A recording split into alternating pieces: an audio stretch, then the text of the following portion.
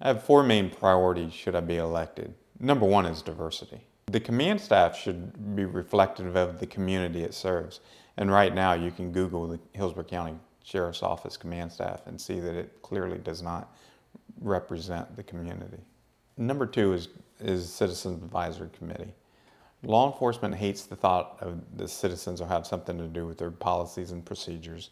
Citizens are who we serve and they should have a say in how we serve them. How I hope to change law enforcement's view on the citizens having so much say in their job is to have more interaction between law enforcement and the community.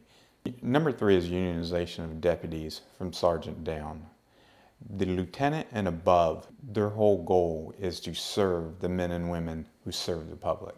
The deputies need to be unionized, and I say the deputies, and, and what I mean by that is the men and women that actually serve the public. And the reason they need to be unionized is because law enforcement needs to actually serve everyone instead of the politically connected.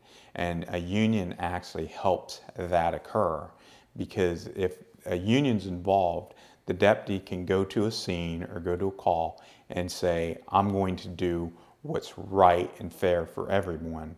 And it actually is, is literally that, what's right and what's wrong, and instead of who's connected and who's not. Number four is transparency. The Hillsborough County Sheriff's Office has been running a relay race with the position of sheriff since 1964. This has allowed the outgoing sheriff to pick his successor, and his successor can run as the incumbent. This is actually happening in this race.